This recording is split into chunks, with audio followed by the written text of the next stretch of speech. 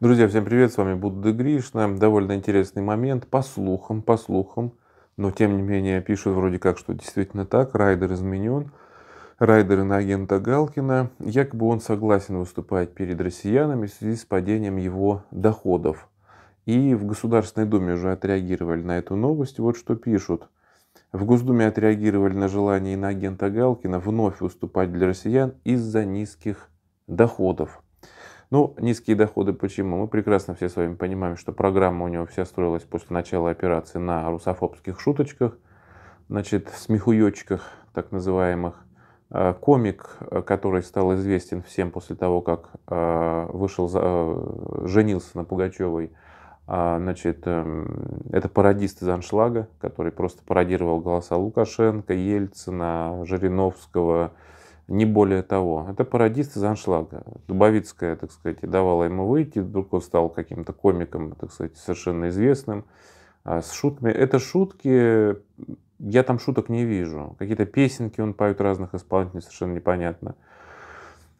А, и сейчас, когда многое становится понятным из тех кадров, которые мы даже, например, ну, я думаю, что вы тоже это видели, как над пенсионером издевались там, выкрикивая совершенно издевательские, противозаконные националистические речевки.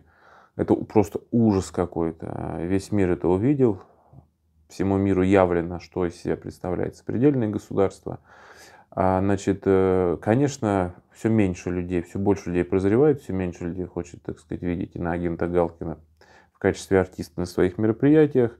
А на концерты приходит, так сказать, тоже не, не так уж и большое количество людей, ну разве что в Юрмале, чтобы назвать его соответствующим словом.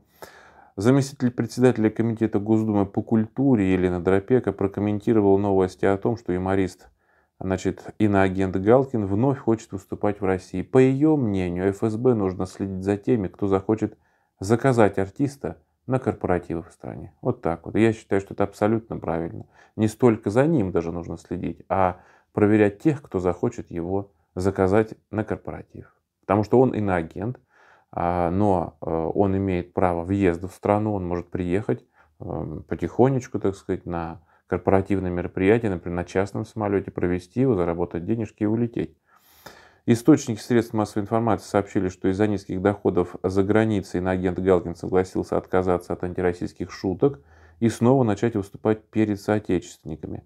Вообще, как такое возможно? После всех его речей, которые он... Э, э, после всего того, что он наговорил, сначала операции, еще удивительно, что он не несет никакой ответственности, конечно.